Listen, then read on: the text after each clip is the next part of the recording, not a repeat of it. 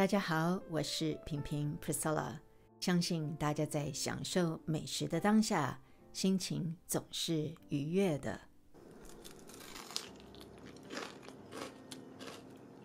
尤其是听到咔哧咔哧酥脆的声音。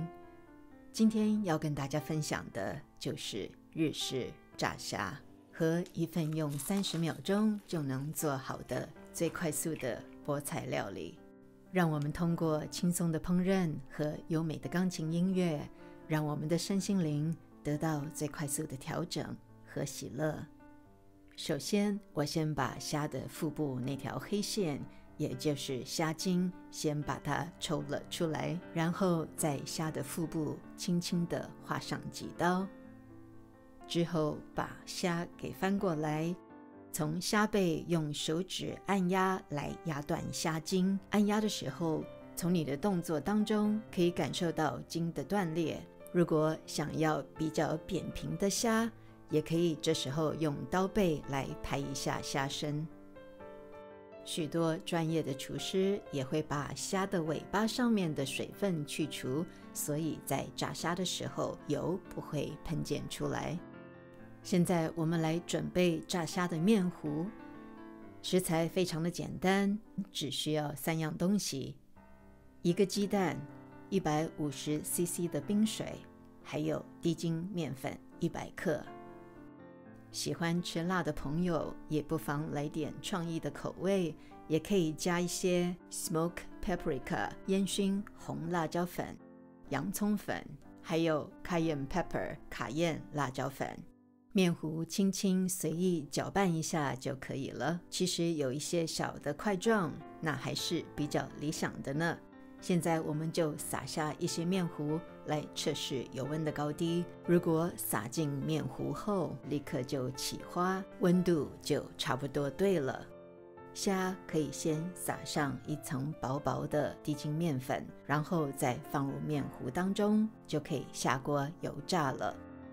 如果想要做出比较澎湃而且有花艺的炸虾天妇罗，我们就可以用筷子或者是夹子先固定好虾子，然后用手或者一个小勺子继续在虾身上拎上一些面糊，这样反复做几次，直到您满意为止，就可以做出有漂亮花衣的炸虾天妇罗了。最好的油炸温度是在摄氏一百七十度到一百八十度之间，或者是华氏度三百四十度到三百五十五度之间。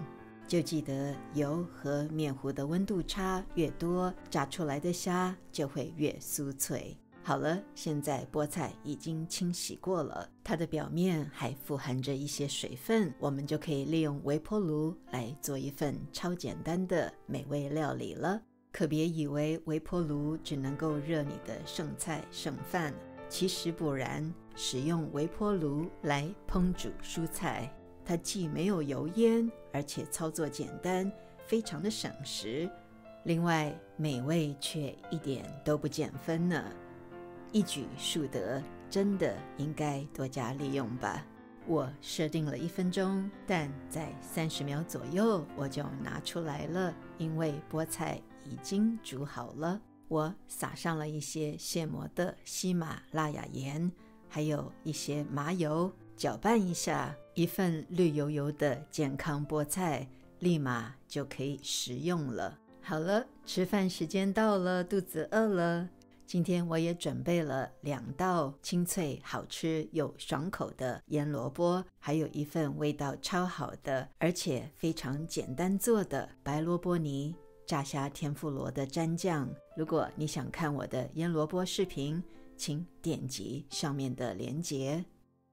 在我轻松享受这份美食的当下，我也想到这份丰盛美味的一餐，也是我用努力和时间所换来的。但是在烹饪和准备的过程当中，我却是用愉悦和喜乐的心情来经历它。我想，人生也是有很多的事情不顺遂，但是如果我们愿意用勇气、双手和决心来面对它，我想很多事情都能够迎刃而解的。除了天天享受美食之外，别忘了帮我按个赞、分享，并且订阅我的频道，记得开启小铃铛，所以你不会错过我最新的视频。感谢您，我们下回见。